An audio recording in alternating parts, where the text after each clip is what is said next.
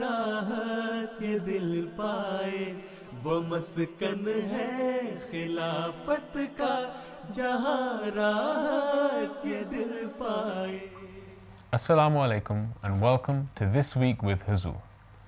Today we are honoured to present highlights of a virtual mulaqat with the UK National Amla. But once again, we begin today's program with Hazrat Khalifatul Masih, may Allah be his helper, holding a virtual meeting with Bangladesh. Hazrat Khalifatul Masih V, may Allah be his helper, presided over a virtual mulaqat with Bangladesh's Majlis Ansarullah office bearers on Saturday. Following the dua, the office bearers introduced themselves and were able to give reports on their departments while seeking Hazur's guidance. Towards the end of the hour long meeting, beloved Hazur, may Allah be his helper, answered a series of questions, beginning with one on how we can improve ourselves and develop our personal good deeds. اللہ تعالیٰ نے جو ہمیں طریقہ بتایا ہے کہ تمہارا جو انسان کی پیدائش کا مقصد ہے وہ عبادت ہے اگر اللہ تعالیٰ کی عبادت اس کا حق ادا کرتے ہوئے کی جائے پانچ وقت کی نمازیں ہیں اگر پانچ وقت کی نمازیں ادا کی جائیں اور اس کا حق ادا کیا جائے اللہ کے آگے روکے جھکے دعا کی جائے سجدوں میں دعا کی جائے اپنی گناہوں کی، غلطیوں کی معافی مانگی جائے، اپنی نسل کی بہتری کے لیے دعا کی جائے اور اپنی روحانی ترقی کے لیے دعا کی جائے۔ تو اللہ تعالیٰ کہتا ہے، تم اپنے مقصد پیدائش کو پورا کرنے والے ہو، میں دعائیں قبول کرتا ہوں۔ تو ذاتی بہتری کے لیے یہی چیز ہے کہ اللہ تعالیٰ سے مانگو۔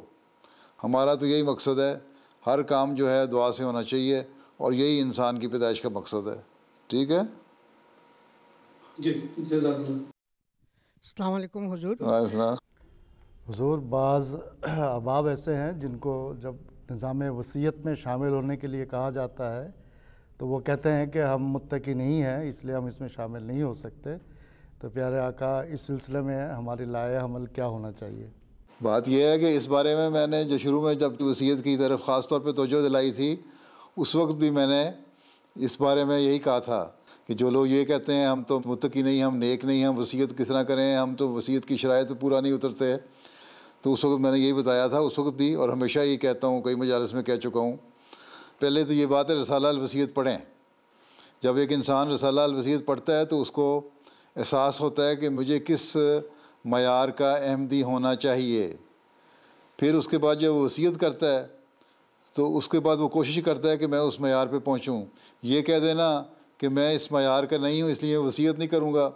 تو پھر ساری عمر نہ وہ کوشش کرے گا، نہ وہ کبھی اچھا نیک اعلیٰ معیار حاصل کرنے کی کوشش کرے گا۔ تو یہ تو ایک ذریعہ ہے، یہی حضرت مسیم علیہ السلام نے فرمایا ہے کہ تم لوگ وصیت بھی کرو گے تو تم لوگوں کی اس طرح توجہ پیدا ہوگی۔ اور وصیت کا حضرت مسیم علیہ السلام نے خلافت کے ساتھ ایک تعلق جوڑا ہے۔ جب انسان وصیت کرتا ہے اور اس کے لیے پھر نیکیاں اختیار کرنے کی کوشش کرتا ہے، نیکیاں اپنانے کی کوشش کرتا ہے، نیکیاں کرنے کی کوشش کرتا ہے، تو پھر اس کا معیار، روحانی معیار بھی بڑھتا ہے اور پھر اس کا خلافت کے ساتھ تعلق اور وفا کا تعلق بھی بڑھتا ہے۔ اور پھر وہ ایک سچا اور پکا احمدی ہوتا ہے، نہیں تو یہ سادہ ایک عہد ہے کہ میں دین کو دنیا پہ مقدم رکھوں گا، میں اپنے آپ کو اور اپنی اولاد کو قربان کرنے کے لیے تیار رہوں گا۔ وہ اپنے مال کو تھوڑا سا مال ہے، اس کو قربان کرنے کے لیے تیار نہیں۔ جو حضرت مسیم علیہ السلام نے تقوا کا بڑھانے کا ذریعہ، طریقہ بتایا ہے اس کو اپنانے کے لیے تیار نہیں۔ تو پھر یہ کس طرح وہ عہد کر سکتا ہے؟ کھڑا ہو کے انصار اللہ کا عہد دہرا دیتا ہے، میں یہ کر دوں گا، میں وہ کر دوں گا۔ تو انصار اللہ کو یہ بتانا ہوگا کہ تم لوگ اپنے عہد پہ پورا اسی وقت اترو گے جب ہر نیکی کو کرنے کی کوشش کرو گے۔ اور نیکیوں کو کرنے کے لیے ایک بہت بڑا ذریعہ حضرت مسیح علیہ السلام نے نظام وصیت کو جاری کر کے فرمایا ہے، جس میں روحانی معیار کو اونچا کرنا بھی ہے اور مالی قربانی بھی ہے۔ اور پھر اس کے ساتھ خلافت کے ساتھ وفا کا تعلق بھی ہے۔ تو جب آپ اس طرح سمجھائیں گے تو ان کو سمجھ آئے گی، نہیں تو پھر انسان تو ڈھیلا ہی رہتا ہے۔ انسان کہے گا، میں نے، میں تو نیک نہیں، میں تو متقی نہیں، میں ایک کام کس طرح کر سکتا ہوں؟ بھائی، اسی کام کے کرنے کے لیے تو وصیت کا نظام جاری ہوا ہے کہ تم اس کو میں شامل ہو جاؤ۔ تو اللہ تعالیٰ تمہیں نیکی اور تقوا کی توفیق بھی طاق فرمائے گا۔ ٹھیک؟ اچھا۔ السلام علیکم حضور۔ وعلیکم السلام۔ پیارے حضور بعض ایسے ناصر ہیں جو جماعتی کاموں میں حصہ نہیں لیتے اور مجلسی کاموں میں بھی شامل نہیں ہوتے۔ ان کو بار بار توجہ دلایا جاتا ہے۔ تو اس سلسلے میں ہم کون سا لائے عمل اختیار کریں؟ یہی حکم ہے بار بار توجہ دلانا۔ اور بار بار توجہ ہی دلاتے رہنا چاہیے، ان کو بتائیں کہ تم احمدی ہو اور احمدی کے کچھ فرائض ہیں اور کچھ اس کے ڈیوٹیز ہیں جس پر اس نے عمل کرنا ہے۔ تو یہی حکم ہے ہمیں، ذکر کا حکم ہے ہمیں، نصیحت کرنے کا حکم ہے ہمیں، بار بار توجہ دلانے کا ہمیں حکم ہے۔ اور یہی حکم آ حضرت صلی اللہ علیہ وسلم کو اللہ تعالیٰ نے دیا تھا، تو اسی حکم پہ اب ہم نے چلنا ہے۔ اور نصیحت اسی لیے کی جاتی ہے اور بار بار کی جاتی ہے تاکہ توجہ پیدا ہوتی رہے۔ ہمارا کام یہ ہے کہ اپنی طرف سے کوشش کرتے رہنا اور توجہ دلاتے رہنا، چھوڑنا نہیں۔ جب تک کہ کوئی انسان یہ کہتا ہے کہ میں احمدی ہوں اور جماعت میں شامل ہوں۔ ٹھیک ہے، سست ہوتے ہیں بعض، ان کی سستیوں کو اسی طرح دور کیا جا سکتا ہے، ان کو توجہ دلائی جاتی رہے اور بار بار ان کو توجہ دلائی جاتی رہے، پیار سے توجہ دلائی جاتی رہے۔ ان کو یہ احساس نہ پیدا ہو کہ ہمیں پر کوئی سختی کر رہی ہے یا ہم جائیں گے تو ہمارے خلاف کوئی ایکشن لیا جائے گا۔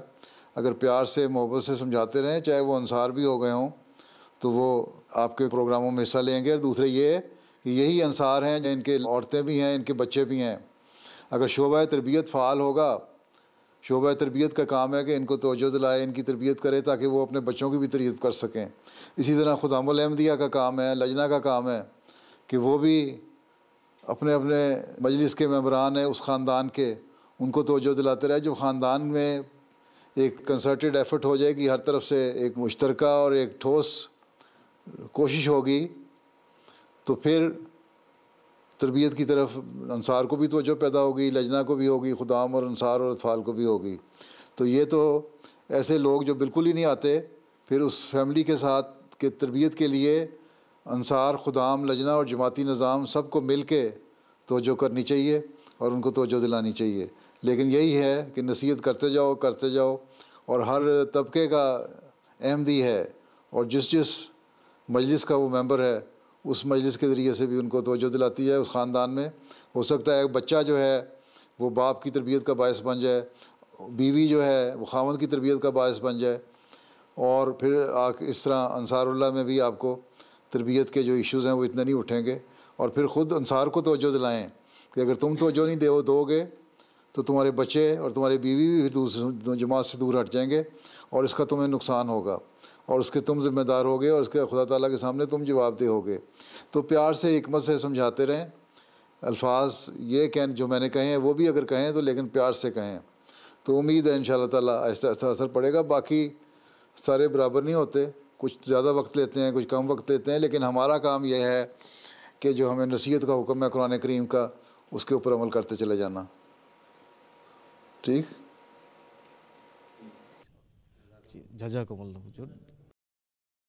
حضور۔ We are you are aware that we are running virtual program اجلاس answer from last September and by the grace of Allah it is increasing number members are very much interested And we already have uh, 17 uh, episodes.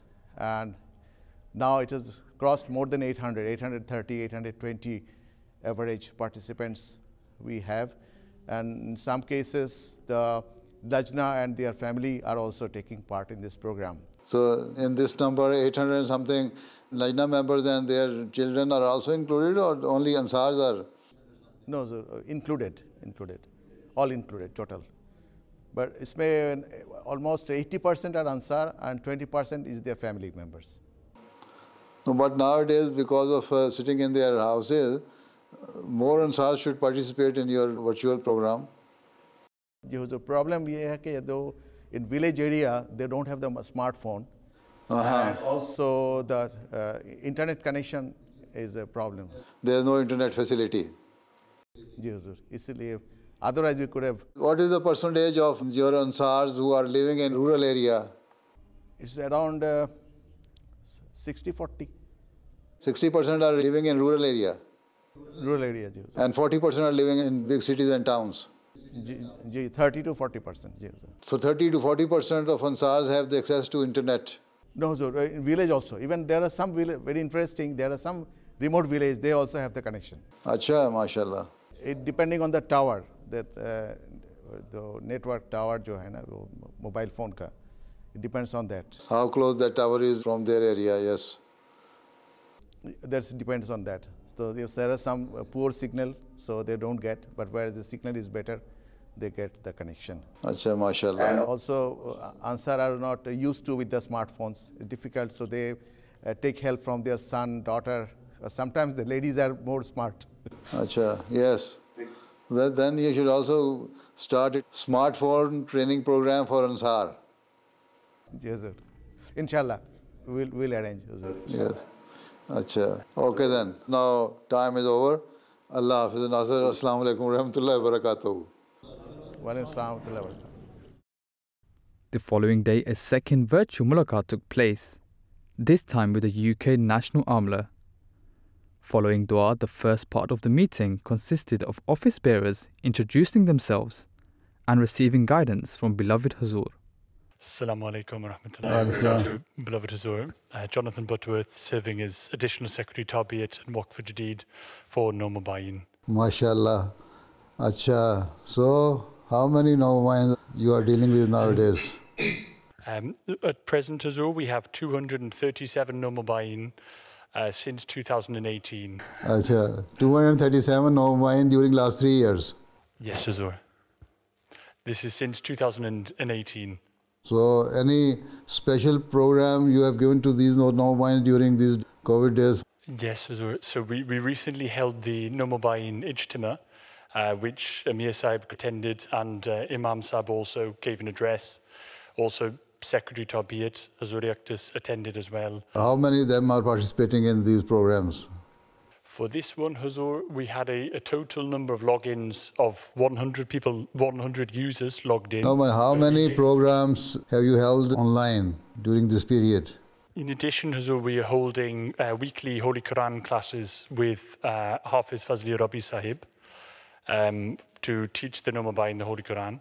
And then also at the local level, Hazuri actors, then all of the, the local missionaries, then they are also uh, holding their classes or they are instructed to hold their classes. What is the number of nomains who are participating in these programs? On average, 70% do take part in this. I think on average, Hazur I think it is slightly lower, uh, unfortunately. Um, Alhamdulillah, we have some who are very active, very engaged. But others are in contact with the Jamaat and they say they are Ahmadis. Alhamdulillah, yes, Huzur. Those who are those who are not very active, but still they claim that they are Ahmadis. Yes, Alhamdulillah, yes, they they are they are still Ahmadis. They have not left the Jamaat.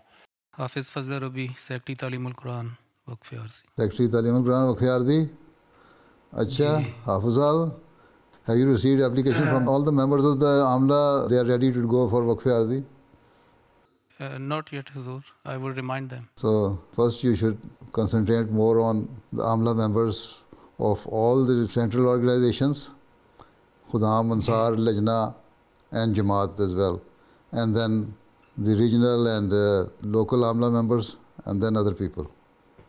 Right? Yeah. If they participate in this Kwakfi scheme, then others will follow them. The second part of the mulaqat consisted of presentations. अच्छा साहब क्या कहते हैं? हमारे पास हजूर तीन चार presentations हैं। एक तो बैतुल फतू की जैसे आपने पिछली दफ़ा कहा था। Okay. प्रेजेंटेशन है फिर वक्फे नौ। Secretary Jadad is going to present that ji secretary Jadad ji बिल्कुल जी। अच्छा आ जाओ फिर। The redeveloped section of the Baitul Futuh Mosque now features a new solar panel array along the rooftop to help generate electricity using environmental methods. This is 48 kilowatts of uh, solar panels The exterior facade is mostly complete, with the stonework now in place. New window lattice structures are being installed along the north face of the rebuild. The colonnade runs the entire width of the structure to create a covered walkway around the complex.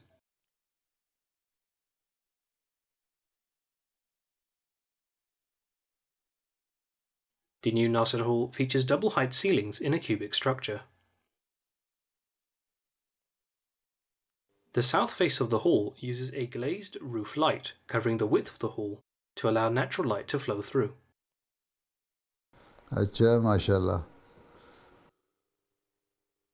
A new efficient radiator panel array is lined along the roof of the Nasser Hall, allowing efficient, discrete heating of the entire space.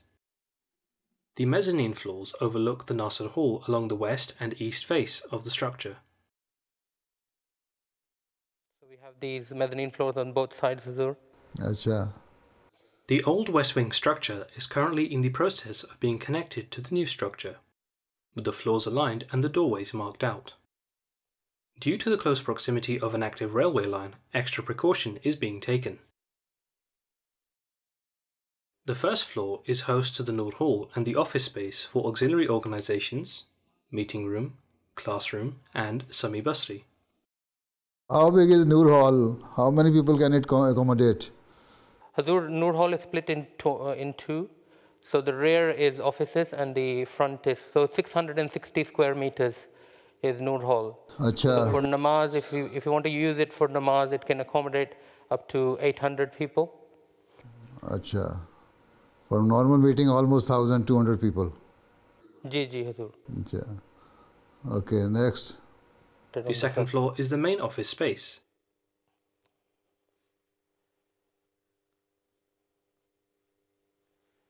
With lifts installed and in position, the main walls of the new offices are taking shape. All the UK Jamaat offices are on the second floor.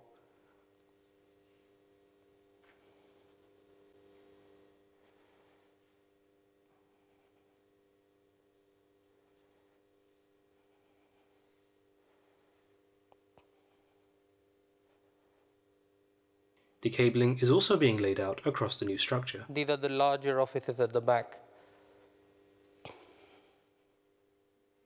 Family accommodation is laid out across the third floor, with internal walls and insulation put in place, and boards for the walls being installed.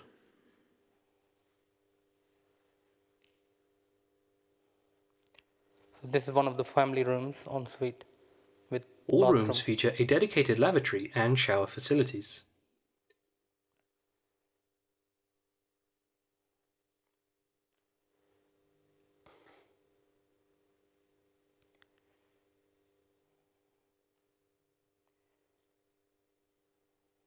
A common area with double height ceilings overlooking the south face windows is in the center of the third floor. Here we are uh, putting a new floor, Hazur. So that'll be just one single The fourth height. floor features more accommodation, with insulation and interior structure complete.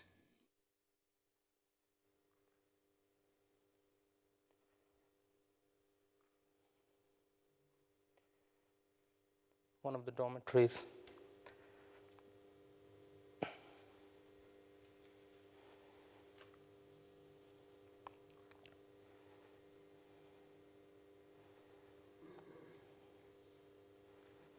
Dormitories are also being constructed with independent washing facilities overlooking the south face of the complex.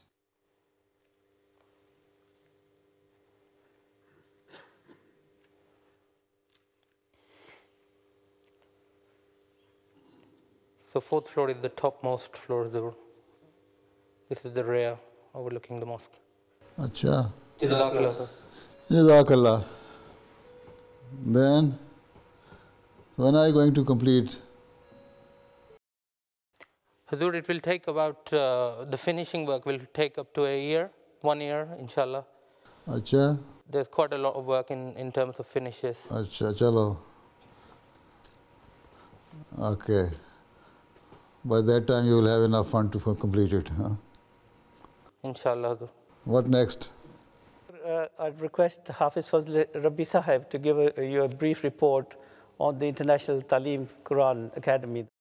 Ji, Ji Hazur, uh, by the grace of Allah, ITQA, International Talimul Quran Academy, we have uh, 464 students registered from uh, 15 countries, most of them this time from UK.